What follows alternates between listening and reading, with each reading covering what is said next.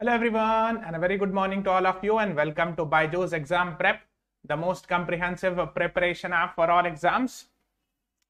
So as you can see, uh, today is uh, 16th August and we are here with uh, the Hindu analysis of 16th August by me, Salik Ahmed. So if I am audible, just write in the comments, yes sir, you're audible. Okay, uh, one more thing I want to show is I want to show, show yesterday's newspaper of the Hindu. And the very reason why I'm showing is it is very important for you to do so because actually it published 15th August 1947, the newspaper of 15th August 1947. Uh, this was the first page was republished yesterday in the Hindu. Have you seen this? How many of you have seen this? So yesterday we completed 75 years of independence means yesterday we celebrated 76th Independence Day Yes, and on this occasion, uh, the Hindu just reprinted the same 15th August 1947 edition of the Hindu newspaper. And that is why I'm just showing you some of the uh, things it was like this. So if you have not seen. So it says, uh, Free India is born, Union Constituent Assembly assumes power, members take pledge of service to country. See, this is very important thing that members take pledge to service for the country then it says Rajan Babu's assurance to minorities. Yes. So these are the important things which got published. So these four are the most important thing that got published on 15th August 1947, the Hindu newspaper. Right? Yes. Good morning, everyone, guys. Good morning. Then there were other things. Uh, here you can see inauguration of Pakistan, Mountbatten's address, then international rights, Indian dominion status. Then if you go down in the newspaper, here you can see new governor of UP, Miss Naidu, uh, you can say Sarojini Naidu arrives in Lucknow for taking the governorship charge. Yes. yes, उस time advertisement नहीं होता था. Yes, Shakshi. Yes, so it was newspaper was like this. So here it is written Friday. It was Friday, 15th August 1947. Here is it. Here it is written Red Letter Day. Members take oath and all. So I'm not going in detail, just I'm showing you, just have an idea of how the newspaper looked like on 15th August 1947. Uh, Viceroy's address here, last Viceroy of India, Lord Mountbatten's uh, Viceroy. Then Pakistan's cabinet, they're talking about this. Assurance to minorities, here it is written. if you go down further, this was Indian envoy to Pakistan, Sri Praksa, uh, Prakasa presents credentials. So he was the Indian ambassador to Pakistan at that time, first, first ambassador you can say when uh, I can say independence happened. Burma Defense Services is talking about and all. So these were the things which came on first page in on 15th August 1947, right? And that is what the Hindu yesterday published. So that is why I have discussed this uh, to just have an idea of how the newspaper used to look like at that time. And now let's uh, discuss with today's newspaper and that is 16th August 2022. So let's discuss about it. Sir, along with which newspaper is important? The Hindu. Yes, Sanjana, you can read The Hindu. That is more than enough. Read one newspaper, I would suggest. But read it daily. That is more important. Okay. Now, uh, let's start with 16th August, Tuesday's newspaper. And today, uh, there were two, three important articles on first page. So first talking about Iran denies role but justifies attack on Salman Rushdie. Then here it was an article. Uh, it was about Prime Minister Modi's speech on the 76th Independence Day, or what we call uh, we completed 75 years of independence. Country facing twin challenges of corruption and nepotism, says PM. So let's discuss about it. So he says uh, first he also discussed about misogyny needs to be uh, combated too, says PM Modi. So if you read this article, here it was written addressing the country from ramparts at Red Fort on the 76th Independence Day.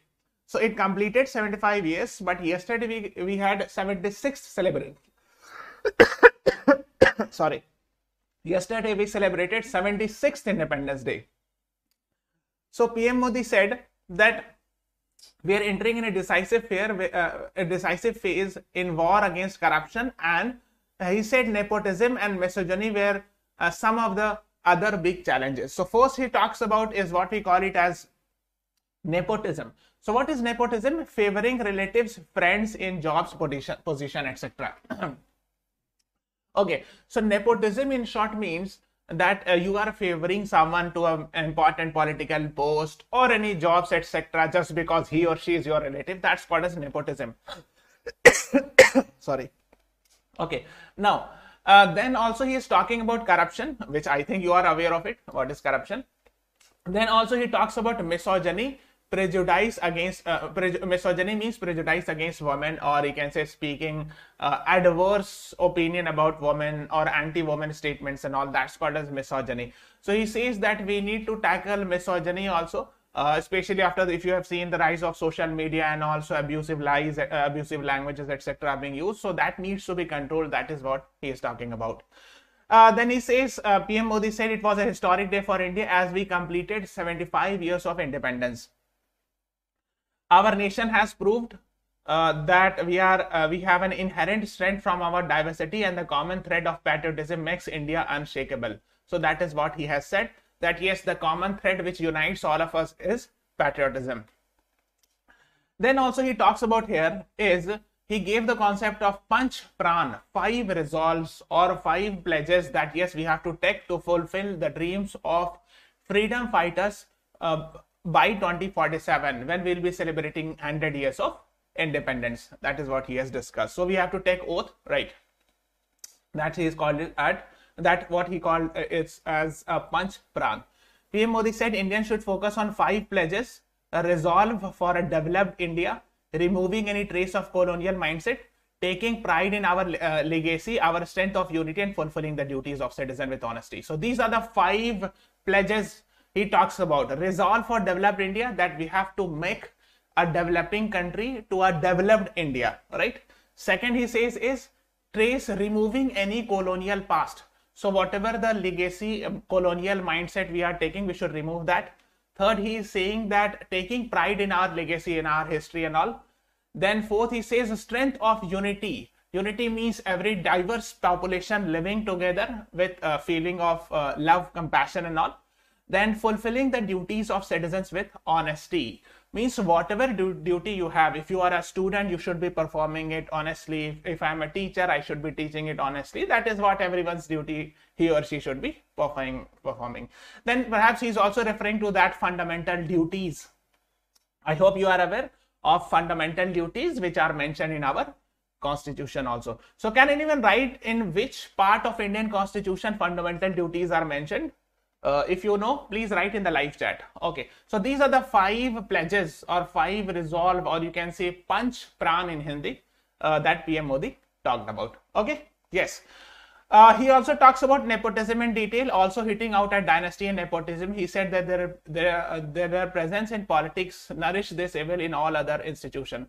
So yes, we have seen past also that yes, if there is an MLA, then the son also becomes an MLA minister like this and all. So he gets uh, the son or a relatives uh, gets the political position very easily.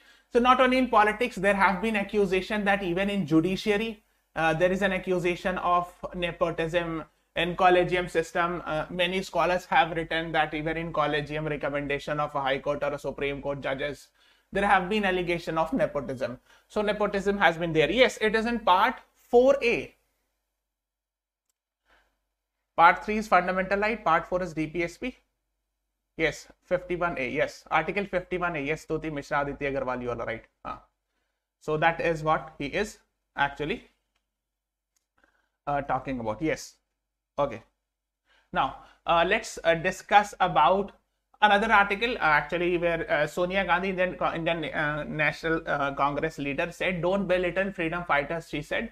It means she said that uh, uh, we should uh, not forget Mahatma Gandhi, Jawaharlal Nehru, Sardar Vallabhbhai Patel, Abul Kalam Azad while remembering the 75 years of completing completion of independence. Okay, now uh, let's discuss. Yes, Viraj Mehta, you make small, small line by line point wise notes. The important keywords, just make notes point wise. No need to go much in detail. Okay, uh, let's discuss about, we have to make a separate class of how to make current affairs. I think we have made it previously. Uh, we will be uh, in future also uh, discussing something. Uh, the next is Iran denies role but justifies attack on Salman Rushdie. I hope you are aware that recently Salman Rushdie was attacked.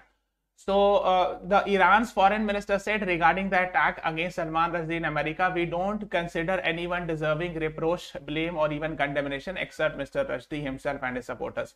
So uh, the foreign minister of Iran said that uh, he himself is responsible. I mean, Salman Rushdie himself is responsible for the attack, etc. and all.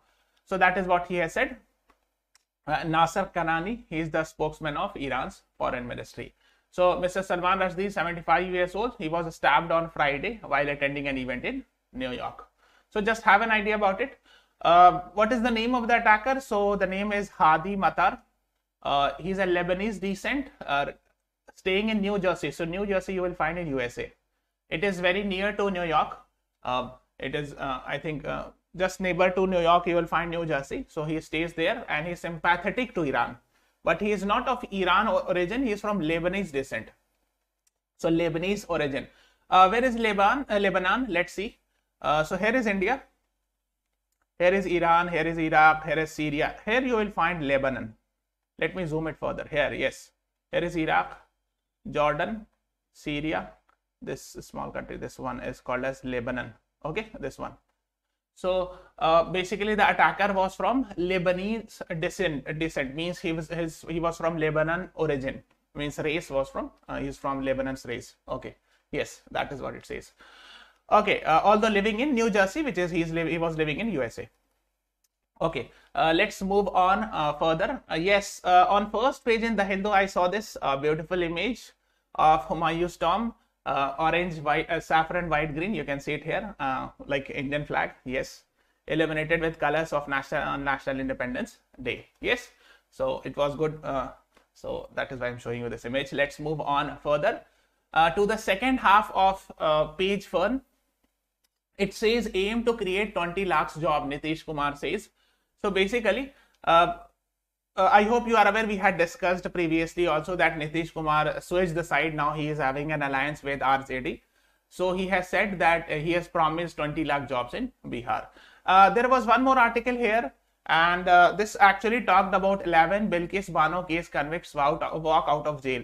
So what happened was uh, during the 2002 Gujarat riots, uh, there were 11 person who were found convicts means the one who has been proven guilty in court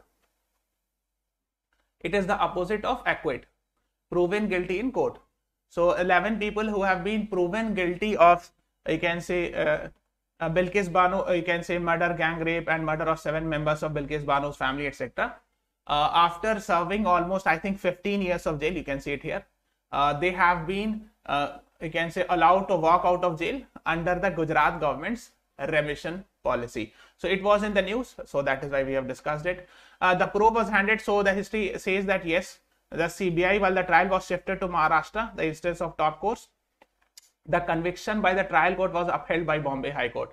It means the lower court uh, pronounced them guilty and later on Bombay High Court upheld it. Means Bombay High Court also said that yes, they are convicted. They have been found guilty of, you can say, uh, murder of uh, gang rape and murder of seven members of Bilkis Bano's family and all. So uh, they have been recently released after 15 years of prison. So that is why it was in the news. Okay, uh, now let's discuss about editorials. Page number six. And uh, this is an important, these two are the editorials that we will be discussing. The first is the fragility of the Northeast integration. Fragility मतलब क्या होता है? Call in Hindi as uh, कमज़ोर कड़ी, weak, weakness, है ना? नाजुक जिसको call it as. So the fragility of Northeast integration, that how to uh, integrate it, that is what uh, the author talks about. Then there was an article about meeting aspirations and all. Guys, uh, guys, please press the like button. We are seeing very less likes, only 15 likes, 33 is watching. Everyone, please press the like button. Everyone, guys, yes. Okay, so uh, before discussing this article, the fragility of Northeast integration, let me ask one question. Uh, this question actually because he discussed this line in the same passage and that is why I'm asking it. The Dash schedules mandated the formation of autonomous district council in which among others tribal customary laws were given legitimacy. Your options are fifth schedule, sixth schedule, ninth schedule, fourth schedule. What is the right answer to this question? So you have to tell me which schedule is the right answer to this question. This line I have taken from the same editorial, which we have talked about just now. So please answer it. Yes, Muskan Goyal, Debadrita, you all have answered it correctly. Very good. Sakshi, you all are right. So basically the sixth schedule of Indian constitution talks about autonomous district council. Yes, Nancy, Anushka, Aditi, Koras, Revant, Sakshi, uh, Rakhi, you all are right. So in the same article, let me show in the uh, uh, website, uh, you can say uh, this is from the desktop website. Uh, same article is there, India at 75 fragility of Northeast integration. So the author talks about the sixth schedule was independent India's first administrative instrument for undivided Assam's tribal belt. And he talks about the same, the schedules means the same sixth schedule mandated the formation of autonomous district council. So it means uh, some sort of greater autonomy, some uh, special powers have been given to autonomous district council in those six, six scheduled areas. Okay. Yes, Khushbu, Bharti, Anushka Jaiswal, you all are right. B is the right answer to this question. Okay. So that is what uh, the author says. So let me show here is India. So this one is called as Northeastern India. Yes, this one is Northeast of India. Here you can see, yes. We call it as any Northeast India. Okay, now another uh, actually question was from the same uh, passage or same article which says when was the Nagaland made a separate state? Your options are 1961, 1963, 1974, 1981. What is the right answer guys? Can anyone tell me?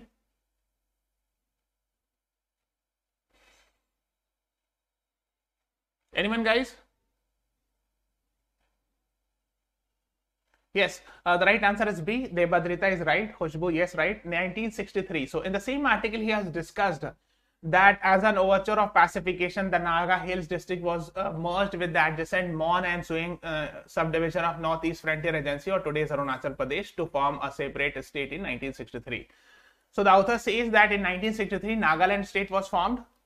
Then the author further says that in 1972, most of the these autonomous regions were bifurcated from Assam Meghalaya became a separate state, while Arunachal and Mizoram were made union territories, and in 1987 they were made separate states also. So initially, actually, so this is what he says. So here is Assam, and Assam and Meghalaya was same. Actually, later on in 1972, Meghalaya was separated out. Then the further says, uh, actually Arunachal Pradesh was at that time called as initially NEFA, Northeast Frontier Agency. And uh, it was made earlier uh, 1972 it was made union territory. Then in 1987 later on it was made a state uh, what we call today as arunachal pradesh. Okay? So that is what he is talking about. So basically he's talking little bit about the history of northeast region and all. Okay? That is what it says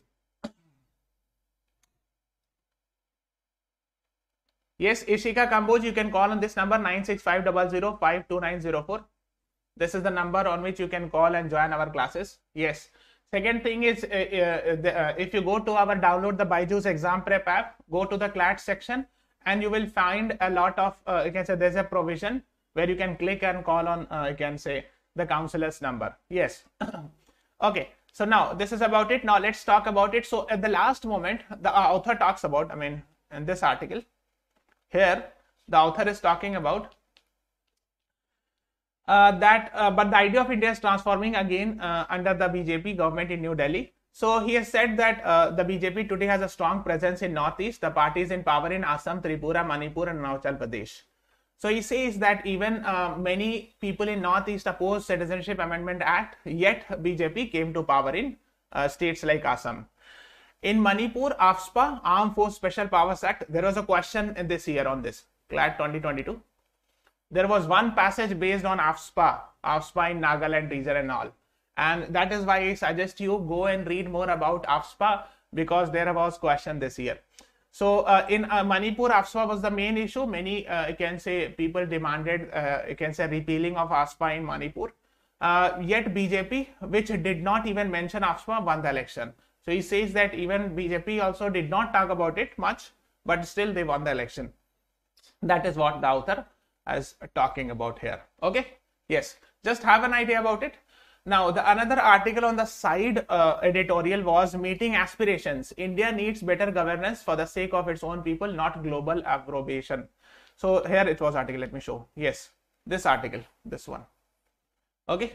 Yes. So let's discuss about it something. Uh, we have already discussed about the PM Modi's speech, but let's discuss in short. So he's PM Modi rightly described India's independence 75 years journey of ups and downs. Yes, man, there were many ups and downs as in the history. Uh, in his ninth speech from Red Fort, asking questions about how long India could go on living on certificates from abroad. So he's saying that basically other countries do give us certificate that India is developed, developing, etc. This and that.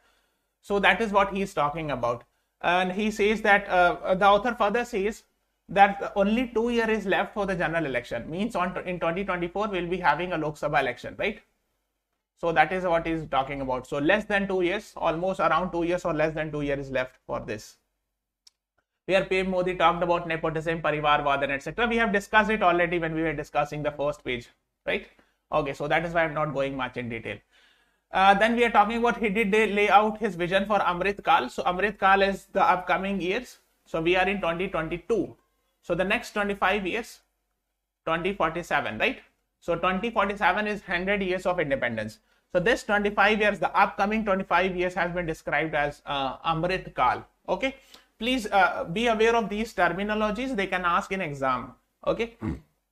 the 100 years of india's independence in 2047 there was little in the 82 minute speech about strategic alliance before country in the wake of tensions etc and all so the uh, author of uh, the hindu editors also criticized at some places that it was not talk about the tensions at the borders means uh, there was uh, the speech did not mention about uh, the tensions at borders, turbulence in international order following Russian in, uh, invasion of Ukraine, etc. So that is what the author of the Hindu editors or the the Hindu editorial authors, the editors of the Hindu, talked about it. That it was not the article or you can the speech did not much talked about this the international order of Russia invasion of Ukraine, etc. and all. So that is what the article says. Now, uh, let's discuss about editorial of uh, the second half page. It talks this one, the temples that Jawaharlal Nehru built. So basically, uh, let's, um, before moving on, guys, everyone please press the like button, comment, share this video and subscribe to our channel also. Everyone please press the like button. We are seeing only 23 likes, 41 is watching. Everyone please press the like button. Yes.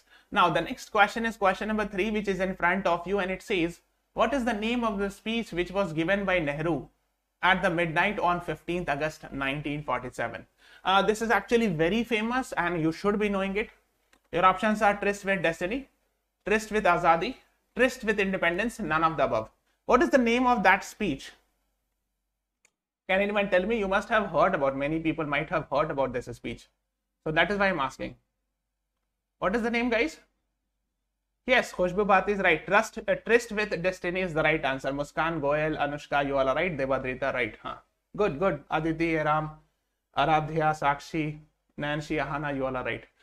Okay, now let's talk about this. This is what the author actually talks about. So he says that as India celebrates uh, 75 years of independence, India will see this as an occasion to remember Jawaharlal Nehru's immortal speech. Immortal means which never dies. The speech, A Tryst with Destiny, delivered on the night of 14th August, you can say, or in the morning of 15th August, both are right. Okay, in the night of 14th August at 12 pm. So if you calculate after 12, it is 15th August. Okay. And its haunting poetic expression at the stroke of the midnight hour when the world sleeps, India awakes to life and freedom. This is the first line of that speech. At the stroke of the midnight hour when the world sleeps, India awakes to life and freedom. So this is what the speech is talking about. Now he is further saying, uh, uh if you go here, this so the uh, actually he is saying the author is talking about Jawaharlal Nehru's achievement in making India. So basically he is saying about uh, Life Insurance Corporation of India in May this year when LIC launched India's largest public issue and collected 21,000 crore from market. The nation was aware that Nehru institution established this. So in 1956, I hope you are aware, LIC was established during the time of Jawaharlal Nehru.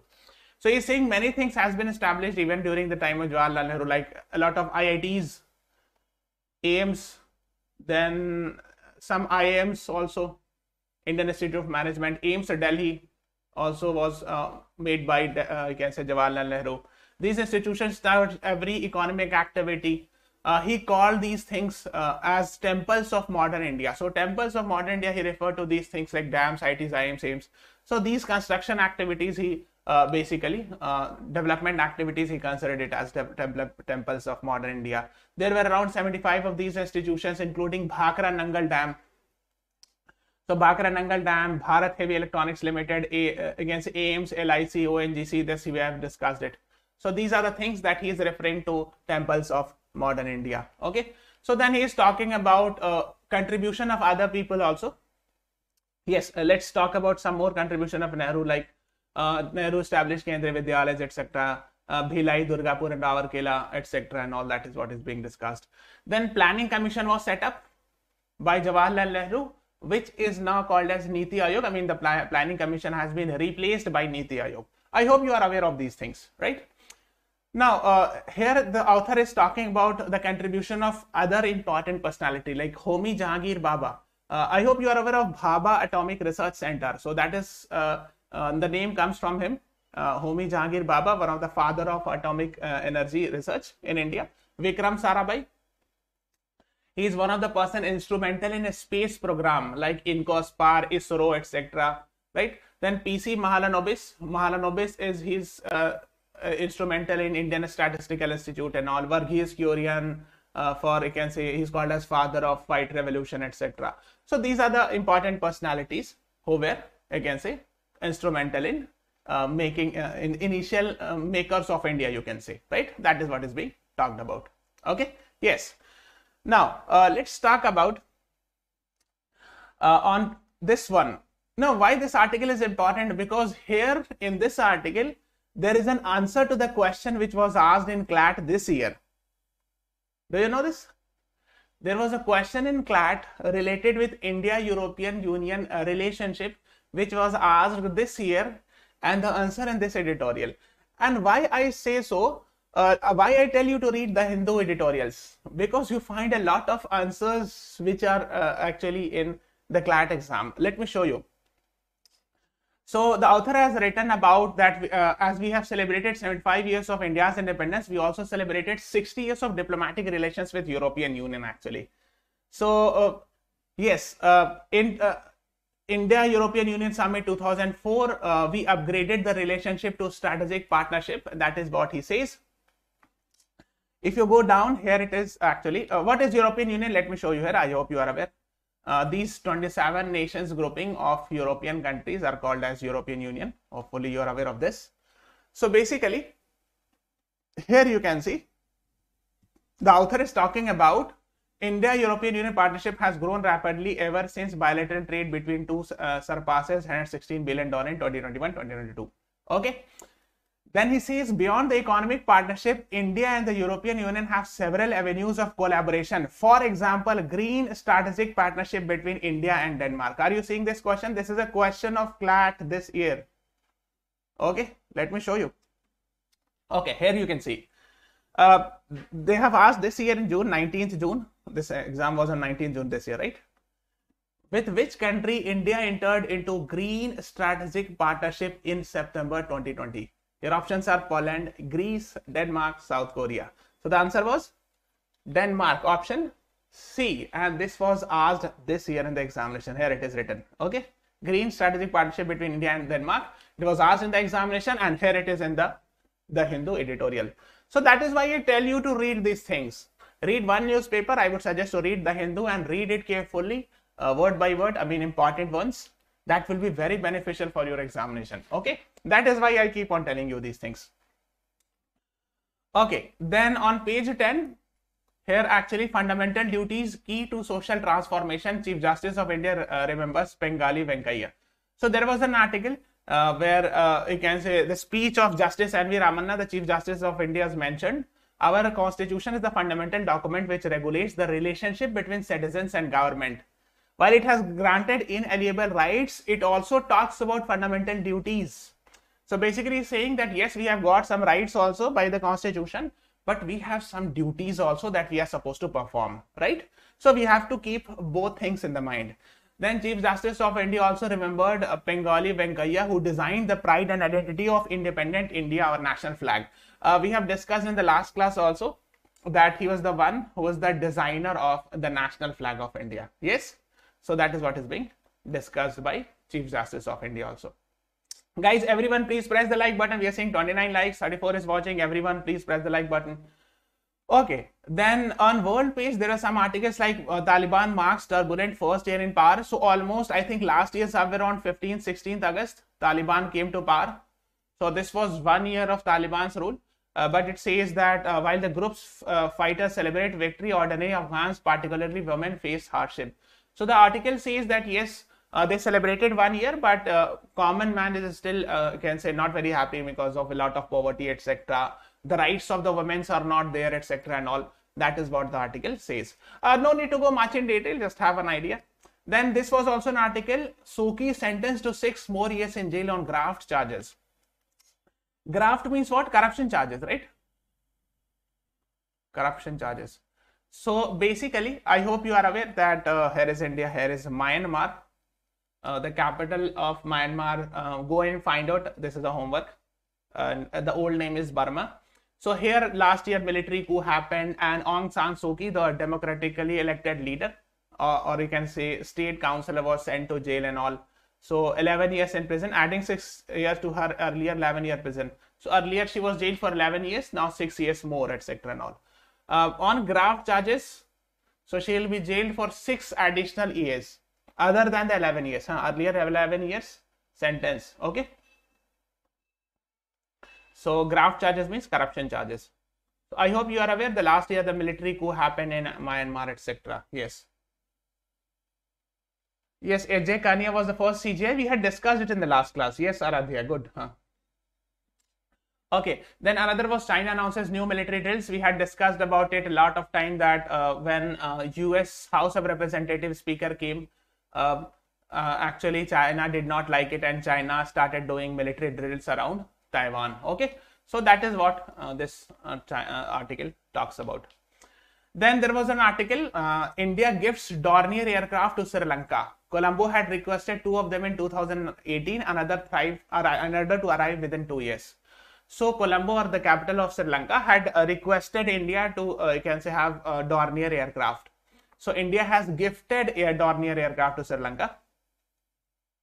Okay? And dornier the name of the aircraft is dornier 228 okay? Yes you can see it. Let me show you.